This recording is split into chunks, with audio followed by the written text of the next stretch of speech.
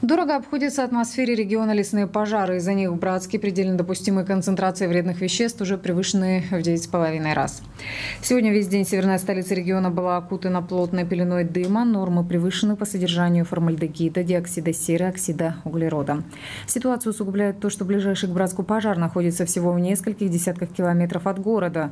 В целом же по состоянию на вечер четверга в регионе горит почти тысяча гектаров тайги. По информации Рослесхоза на территории особо охраняемого заповедника сейчас также бушуют два пожара.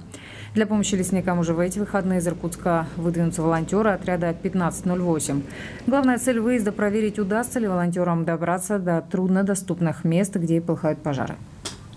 Вот эти территории труднодоступные, они горят каждый год. Я думаю, в следующем году, если у нас в этом году все пройдет довольно гладко, то мы можем э, делать такие маршевые заезды и работать эффективно уже в труднодоступных местах каких-то. Между тем, на некоторых территориях региона огонь все-таки отступает. Сегодня был снят режим чрезвычайной ситуации в Катанском районе. Сложная ситуация сохраняется в Качукском, Усть-Кутском, Жигаловском районах. В ликвидации лесных пожаров задействовано почти 700 человек и 181 единица техники.